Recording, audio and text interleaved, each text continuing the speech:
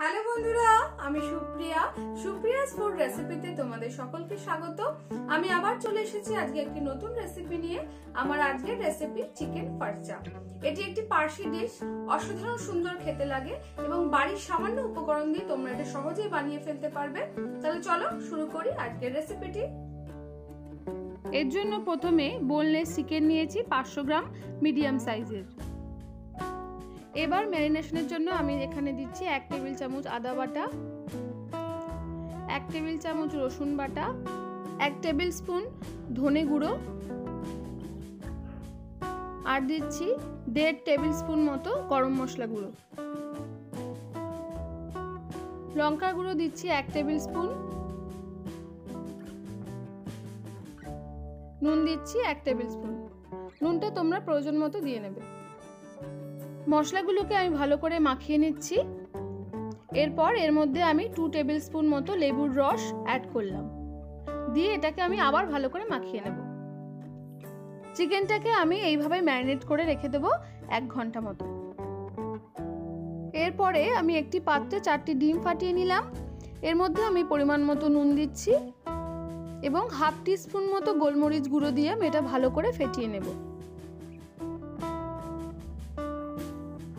এক ঘণ্টা পর ম্যারিনেট করা চিকেনের টুকরোগুলো বেড ক্রামে ভালো করে কোট করে নেব। ভালো করে হাত দিয়ে চেপে চেপে বোথ সাইড কোট করে নিতে হবে।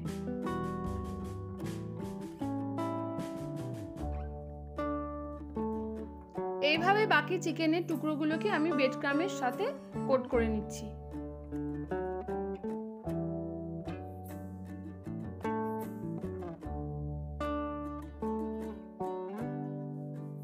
ম্যারিনেটেড মাংসগুলো বেডক্রামে কোট করা হয়ে গেছে। এবার আমি আসছি পরের স্টেপে এবার কড়াইতে অনেকটা পরিমাণ তেল দিচ্ছি ফ্রাই করার জন্য। তেল গরম হলে বেড ক্রামে কোট করা চিকেনের টুকরোগুলো ফ্যাটানো ডিমে ডিপ করে কড়াইতে দিয়ে দেবো।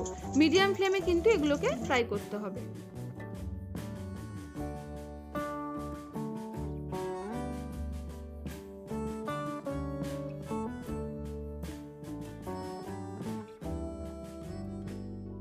একদিক ফ্রাই হয়ে গেছে, এবার আমি উল্টে দিচ্ছি।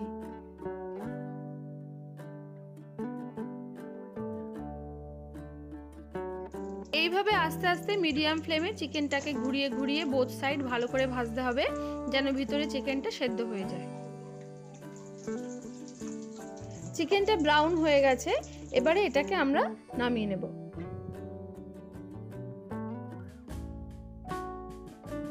এই চিকেন ফার্চার ওপরের অংশটা কিন্তু ক্রাঞ্চি হয় এবং ভিতরটা কিন্তু খুব জুসি হয়। এইভাবে এয়ারটাইট কন্টেনারে বেড ক্রামে কোট করা চিকেনগুলো ফ্রিজে স্টোর করে অন্তত দুদিন রাখতে পারো। গরম গরম চিকেন ফর্চা পরিবেশনের জন্য রেডি। রেসিপিটি ভালো লাগলে অবশ্যই একটা লাইক করো এবং আমার চ্যানেলটি সাবস্ক্রাইব না করা থাকলে অবশ্যই সাবস্ক্রাইব করো।